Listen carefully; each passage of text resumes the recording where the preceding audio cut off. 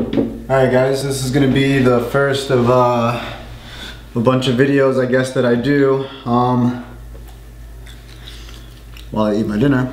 A lot of you, you know, a lot of you hit me up in the DM on Instagram and uh, you know, you ask me, what did I, what did I do? Why did I, why did I shut down my store? Um, you know, or or uh, what did you retire you know or what did you hit the lottery? You know uh, you bought this nice big house and you got a brand new truck and you know uh, you shut down your store and you know uh, you're working from home now. Um, and um, you know what a lot of you a lot of you are, are that are saying that to me are not really remembering is all of the nights that I was at my store until two, three, four in the morning, and then sleeping at my store. Um, you know, waking up at seven, washing my face, going to go get a coffee, and, and coming back and just working. You know, all the nights that my family didn't see me, um, that I was at work, and that I was learning my, my trade and mastering my trade. Um,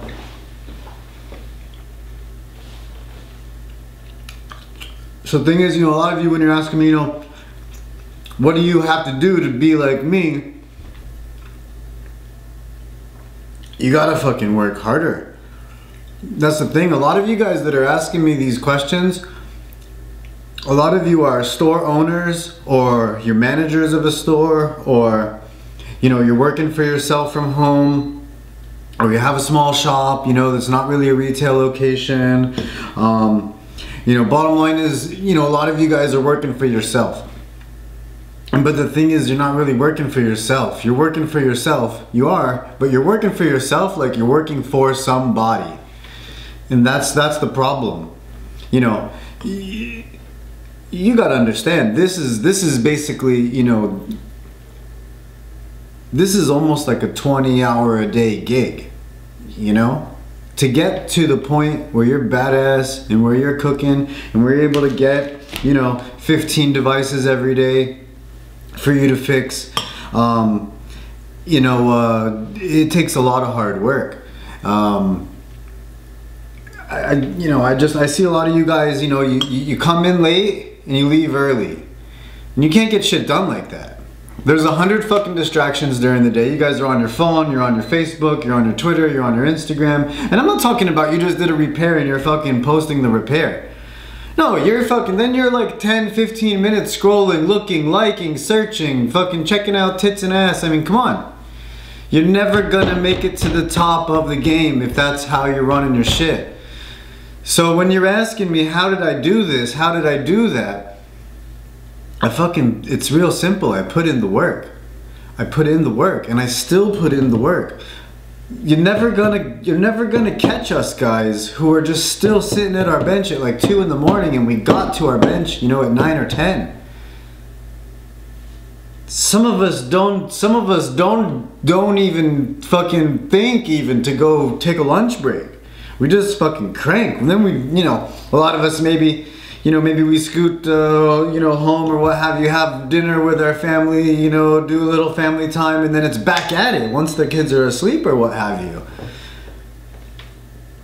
A lot of you guys are single, or you got a girlfriend, and you're too worried about going out to the movies, about going out on date night, you know, about, uh, you know, uh, playing some fucking video games you're not gonna make it to the top that way. You're gonna get stuck in your, you know, you're gonna make two, three hundred, maybe four hundred dollars a day, and that's gonna be okay for you, and that's gonna be enough, you know, and you're gonna get by. That's really not enough. I mean, do the fucking math.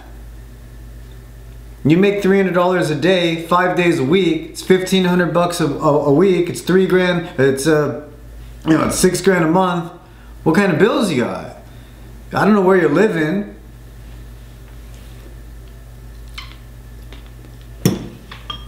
No. So when you guys are hitting me up like that, no, I didn't retire. No. I didn't hit the lottery. I'm still busting my ass. And that's what you guys need to do. The day doesn't end when you go home. You've got emails to respond to. You've got Facebook posts to do or other social media posts to do. You know, website management. You've got to run around maybe to suppliers or you've got to place online orders. Um, you know, a lot of you guys won't even stay you know, oh, I can be there, you know, I can't be there. I get out of work at 6 and you close at 6, but I could be there for like 6.20, 6.30. Do you think you could wait? I just, I got an iPhone 6 screen. Um, you know that I need replaced, I really need it replaced. And a, lot of you guys will be like, nope, close at 6, that's it, I'm going home. And I'm thinking, what? Really? And you're going home to fucking jerk off, smoke pot, drink beer, play video games, fucking take a nap. A lot of you guys that are saying that, you don't you don't even have families to go home to. You're just constantly thinking about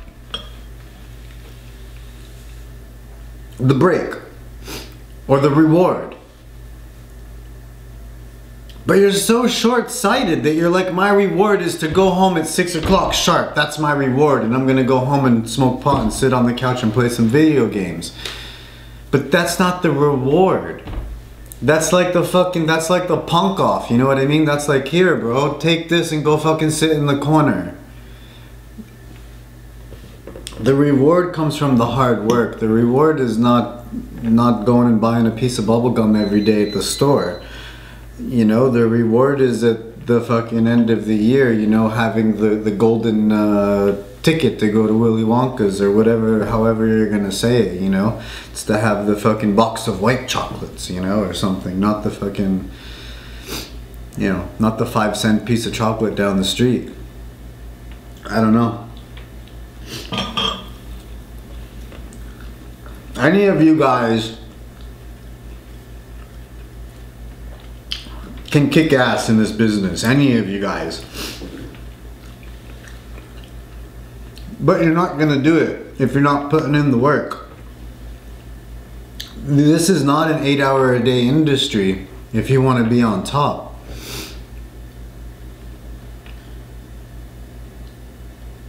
That's all I gotta say about it.